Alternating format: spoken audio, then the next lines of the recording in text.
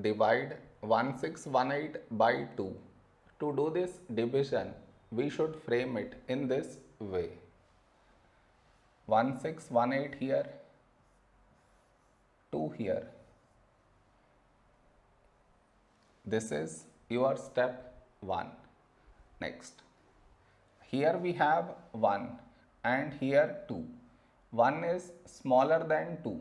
So we should take two numbers 16. When do we get 16 in 2 table? 2 8s 16. Now we should subtract. We get 0.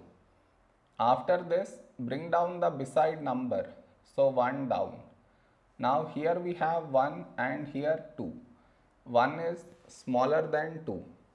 So we should bring down the second number and the rule to bring down second number is put 0 here then only we can bring this number down.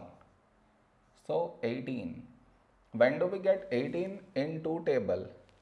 2 nines 18 now we subtract.